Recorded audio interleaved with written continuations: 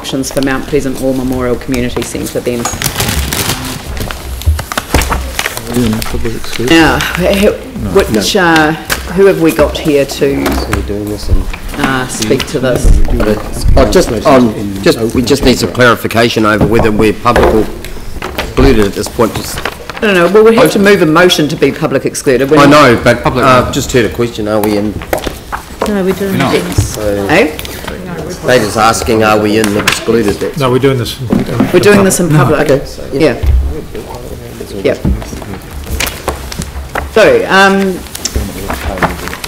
obviously, uh, you know, since we had the presentation this morning, there's been a, a little bit of discussion behind the scenes to see if we can get to a, um, situation where we enable this, uh, project to, um, to proceed. I think that's the general impression that I've got from, uh, people who, who, um, have been intimately involved in the discussion on it. We've got some suggested uh, recommendations, but um, not sure, Jason, did you want to sort of speak just to the, uh, to the, the the financial issues in relation to this uh, recommendation? I- I- And I don't know whether anyone can respond to the issue of the under, um, confirming that that is the, that is the extent of the underinsurance? Uh, I wasn't going to respond to any um, insurance questions whatsoever, just more from a, from a financial sense. Yeah. So it'd probably help if we had the um, resolutions up there that we Okay, drafted. all right, um, okay. To see, um, look, council is hamstrung at the moment, um, I guess financially. Uh, We've got an annual plan which we're currently out for submission in, and so the preferred option was to go through the annual plan process. Listening to the community group, of course, that's an issue around timing. Um, what we were proposing was um, still go through the annual plan submission process um, there as the preferred option, but to agree to defer the repayment of the interest and principal for the community loan until the annual plan is adopted. Um, and so that delays any time pressure for the community group to get to get up and finished. Right. And that's, look, this is inconsistent with the community loan scheme, which um, we have a 4.5% um, rate of return, so notes five and six are just there to say this is inconsistent. But as long as we say that it's inconsistent. That's right. Um, but this gives, uh, an opportunity to, um, to resolve the issue in terms of the, uh, draft annual plan. So it gives us the opportunity of doing that, but in the meantime provides them with the, the sort of financial security so that they can proceed. Potentially, there's, a- there's a debate around how long the community loan is deferred for, which councillors will have. Well, I mean, if we deferred it for twelve months, then would that, would that kind of give people the, you know, the, the, the surety? I mean, in terms of the dollars and cents, how much per month is, are we talking about? I think it was $1,300 um, Yeah. per month is the servicing of that. Um, So that would be a minor effect. It's a minor effect on the- council In, in terms of the council budget, I mean, it's a- certainly a lot of money, but it's a minor effect in terms of the overall budget. Okay, um, well, I've got lots of people that with their hands up, so let's, let, okay, well, I'll I'll go Paul, Yani and Andrew and Vicki.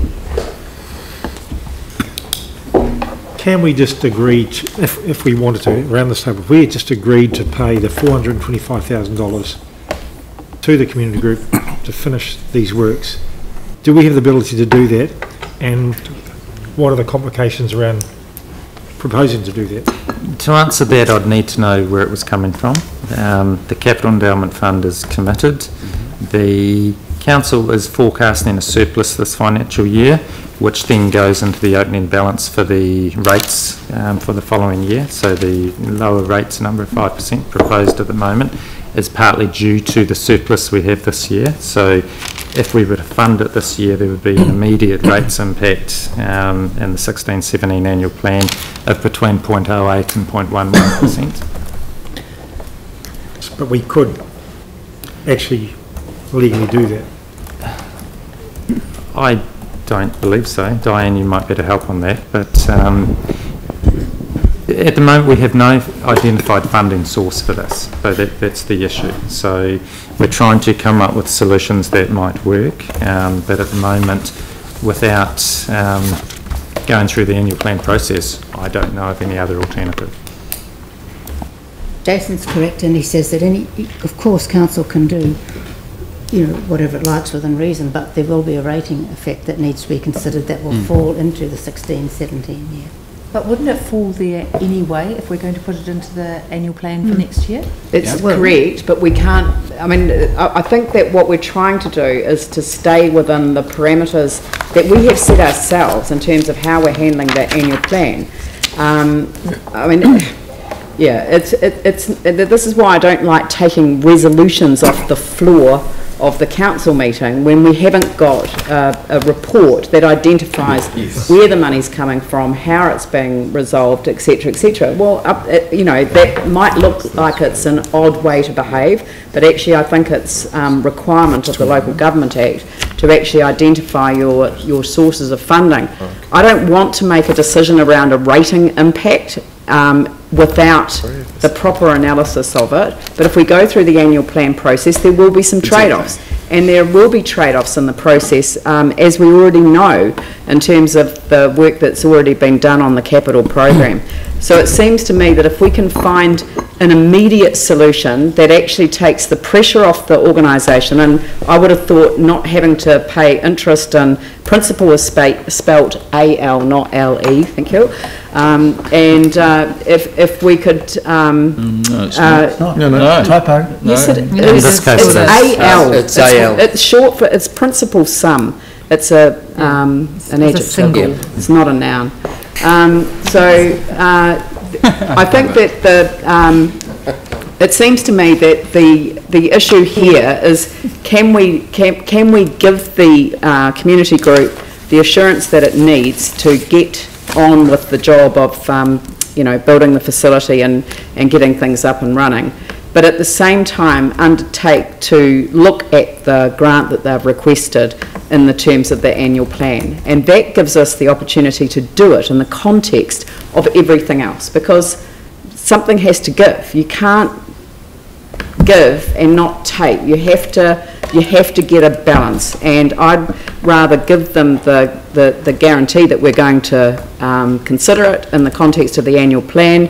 Um, there is a commitment here uh, around the table, as people can hear, and if we can defer the re- repayment of the interest and the principal in the meantime, it gives them the assurance that they need to carry on. So, um, Doesn't that, give them the that- money, though. that, that's, sorry? Doesn't actually give them the money. That's an annual plan process. But that's an annual plan that's- process, which is two, two, within two months. It's within eight weeks. It's not very far away. It's the end of June, we just sign off on the annual plan. I mean, the timing of this is, is terrible. I don't know how the, um, you know, and we do need to do a review of this whole process about how we got to a situation that within two days we had to make a decision. That there's something wrong with the process that led to this. Let's, let's unpack that. I, I still think that part of the, um, the problem arose when the council underinsured this asset. And that's what makes me want to really look for a solution, but to give uh, the community the opportunity to get this up and running um, without having to um, repay interest and principal for, um, for a period of time, I, I would have thought that would, that would enable them to proceed knowing that we were going to resolve this in the context of the annual plan. Yani? Thank you. Um, so currently, my understanding is we have money on budget um, around our suburban master plans for this corridor in this current financial year. Is that correct? I'm not aware of that. Uh, Hard to answer on the fly, so. Okay. So, I mean, I'm, I'm basically looking at like the current capital program. We've got 1.6 million for Ferry Road. So this is operational funding, so the, the- the issue, I guess, it's capital to the group, but council need to fund it as, as operational funding because we don't, I guess, own the building. Right. Oh, Okay. Um, so, I mean, I guess for me, like, it just seemed that if we've got money on budget this year that we're not going to spend on the main road master plan. And we've heard that part of the cost of this work is actually to enhance the amenity of not just the community centre, but McCormack's Bay, you know, the, the playground, the car park.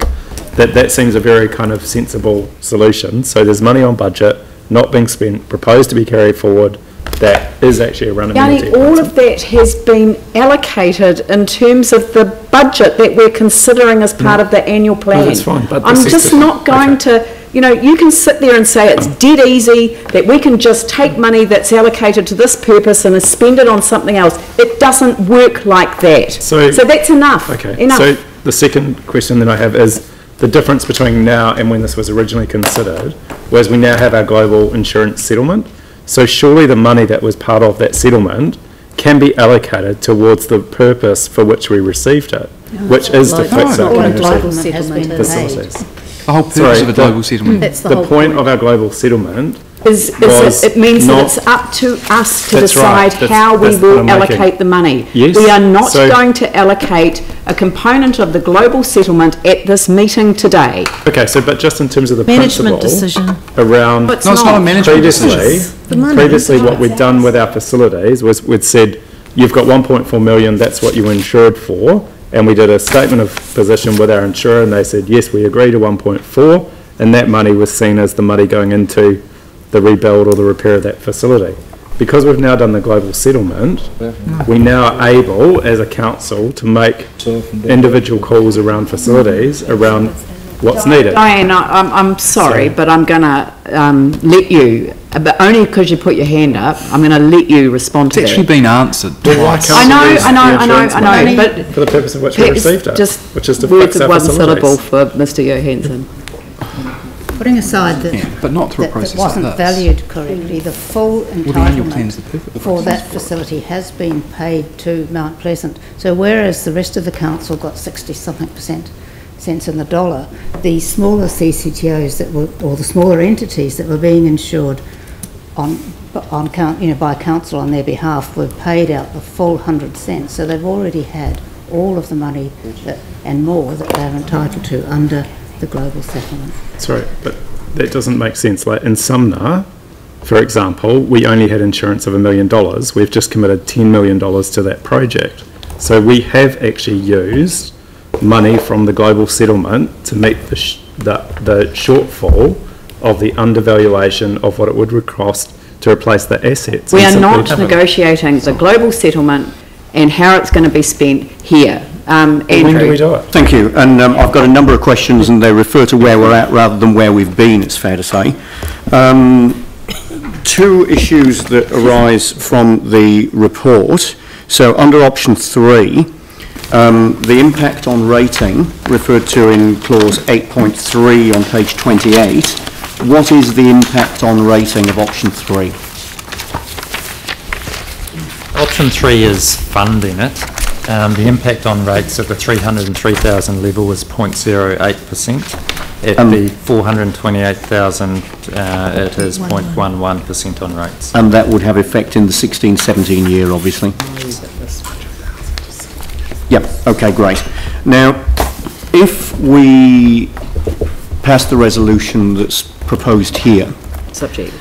Does that allow the civil, presumably that doesn't allow the civil works to proceed until after the 30th of June, in as much as assuming that the annual plan process results in the 440,000 being added to budget at that time, Maybe we didn't. that's the point at which the funds are available for those civil works to proceed. How much Am I correct in making that assumption? I can't answer that. Um, it could be that the community group chooses to proceed on the assumption that they may be funded through council, um, or they may not. Yeah, I mean, that really drives to the heart of my next question. What we're doing here is presuming an outcome of the annual plan debate. And I'm aware that under the Local Government Act, we need to go into that debate with an open mind. And I'm concerned that what we're doing here is potentially passing a resolution that makes an assumption that we will make that further decision. You could almost say binds us to that decision for today's decision actually to, to really work.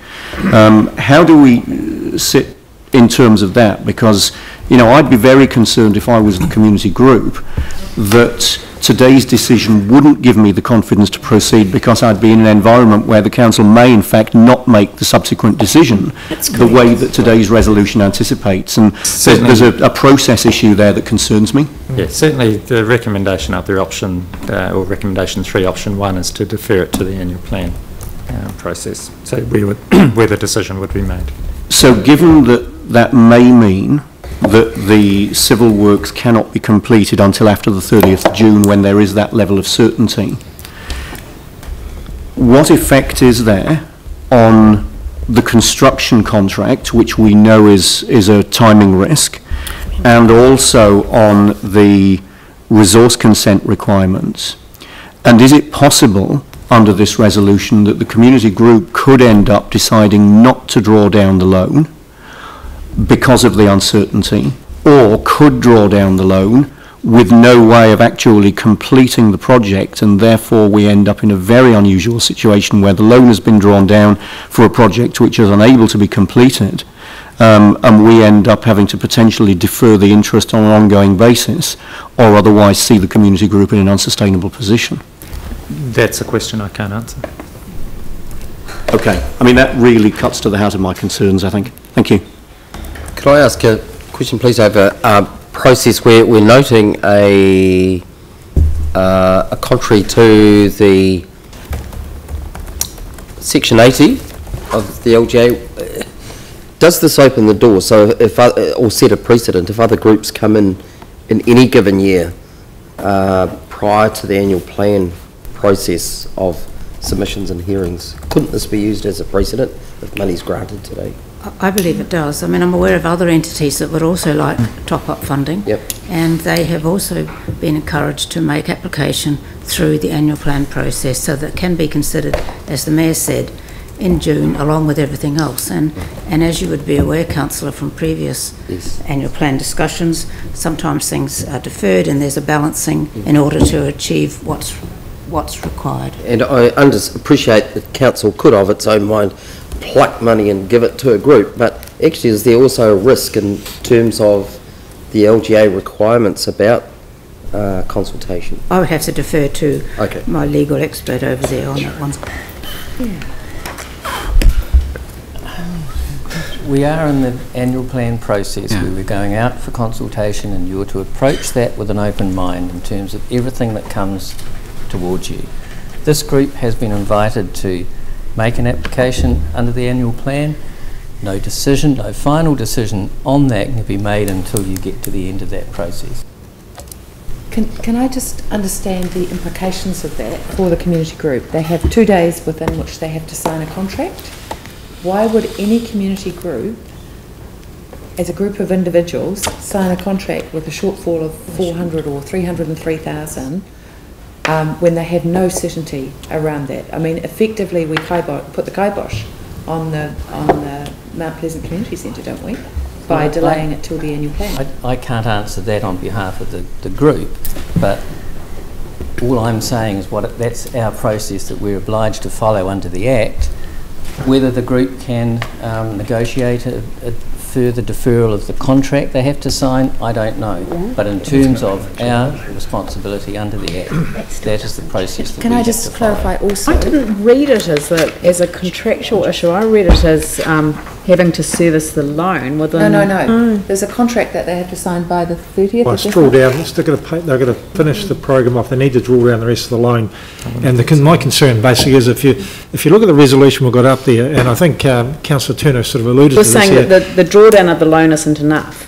The drawdown of the loan is enough to complete the building, But they need to but make that puts that them in the position that they can't actually uh, use the building until the civil works are done, and there is no certainty in that, that that civil works, uh, in, in fact, we're actually predetermining in this, this here, which means I'd rather not go into, into the annual plan with a predetermined uh, condition. I'd rather go, let's just cut to the chase, let's fund this thing now and make the determination today. Hold on, can I, I mean, The Mayor wants Can I ask a clarification, Paul, the 400 why don't we just vary the extra. resource consent so that they can... no, no, the, the resource consent isn't the issue anymore.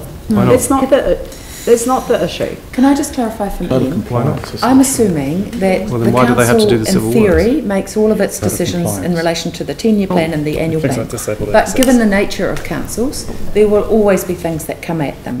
And I'm assuming that the council has the capacity to make a decision that alters aspects of the, um, of the plan in this financial year, such that if we make the call that some of our operational surplus goes to this, that is legally possible. But Hold on, we don't, we There don't, this is not a community facility Sorry, that can I we just own, get is the it? legal answer There first? there are two no. bits to that. One is, We yes, covered the Section 80 is there so that we can make decisions that are inconsistent with our policies. My concern about this one, though, would be that you lack the information to actually make a decision um, along the lines that you're suggesting. And I think what- that's come through from what Jason has said. So what information do we lack? I don't, but what I get from staff is that we don't have the money at the moment. It's all oh, allocated. True. Well, what I got from staff was that there is an operational surplus. It And a will have an expenditure. Which they have factored into Yes, next year's that. annual plan. I understand that, but whether we spend it, allocate it now or in July one. If we the allocate it on now, we have to exactly allocate an increase in rates to pay. f- it- Because that's the only way that we can definitely do that now. So- I don't want to do that. I want to actually look at this in the context of all of the things that we have on budget in terms of the annual plan. There is no money just sitting there in a bucket waiting to be allocated for this purpose. So that's, that's the work that we need to do in the context of the annual plan. Actually, I still do not understand why we have got this within two days of a decision needing to be made. That's the thing that I find incredibly frustrating. It's the point that Ian's making. How can we make a, a decision without having the, the, the quality of the advice that we need in order to allocate funding for this project? There is definitely a commitment round the table to support this project. It is not um, a, a community centre that is owned by the council. It is very much one that is owned by the community, but we own the land. Um, and, and we have worked, I think, quite collaboratively with this community, and I don't know how we've got to the position that it's like down to the wire.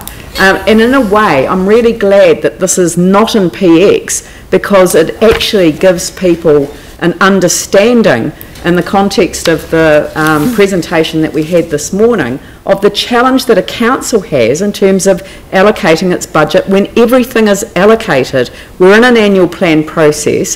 So my question is, how do we get to where we are now? There's a, there's a commitment around the table to this project, um, but how do we get to the, um, to a, a sufficient degree of um, clarity for the uh, Mount Pleasant Community Centre and Residents Association to proceed with the project, knowing that we will come on board, but we've got a lot more work to do to find the resource um, to do so. And um, I'm, I'm not 100% sure of how we get there. Phil? I'm just wondering, uh, through you, uh, Lianne, if, I can ask Ian, if, if we were to add in for a sort of assurance for the Mount Pleasant Community Group, that we support, continue to support the project in principle, or if that's leaning too far towards predetermination for the... Well, that's the, I think that's the So key issue here, you, it's the really. predetermination, I'm- it's the same as making a decision today to actually fund it, it's the same thing. So I just wonder if Ian might comment on that. If you're just making an in-principle decision, um, yes, that might get us over the line. I'm just wondering whether we shouldn't take five and talk to the group and Yes. see what... I think that's a good, a Very good good, idea. I'd support that motion actually. So- So, I mean, I think that's a sensible solution. Can I just ask, because we were told that there's other groups coming to us, how many other groups have facilities that were insured by council that were undervalued for Can replacement? we not Who are deal, asking for extra Yani, funding? Yani, can we not deal with other matters at this moment? Could we not deal with this now, please? We are actually trying to achieve an outcome here for a community that you represent, so I think that leaving well enough We are wanting to alone would be a good idea. Mm. David? Um, Look, there are some consenting issues and, in code of compliance um, requirements attached to all of this as well, and I wonder if in amongst our um, conversation with the group and um, our staff, that we could factor in any um, possible sort of assistance through the code of compliance process that may be Is there new wording? of uh, help to get us over the line as well. Um, I have asked, um, the, um, compliance and, um, uh, consents group to have a look at it and, uh, requested that we get the specific information right at the back there, um, the specific information to see what is required for the code of compliance as opposed to what's the nice to have. That was option five. Um, could I suggest that we follow Ian's advice and, because we could go round and round in circles Yep. on this. So can we actually put a brakes on this for a bit and let the staff talk with the organisation? Yep, Thank you. all right, so, David, um, that was the option five you just Yeah, mentioned. yeah. okay, so, the- well, the next, the next item is the um, public excluded, so we're going to have to... um, We have a break. Can we adjourn now, do that, do, finish this Ten after minutes? staff, and then, then go into public Well, excluded? no, no, we, we- we might as well come back to Break this. for I mean, how, how much time? I don't know, probably 10 minutes, five minutes? Yeah. Five minutes? Just- Just to June. Just go to it. Just adjourn quickly. Well, we Five could, we could go into, oh, no, yeah. no, let's just easy Okay, we'll just adjourn. Yep. All right. Well, do you want to, do you want to take a half an hour for lunch and come back at? Yep. Yeah, adjourn for lunch. Come, and come back at twelve thirty? Yep. Yeah, that'd be good, let's go. Good idea. Adjourned hmm. for lunch.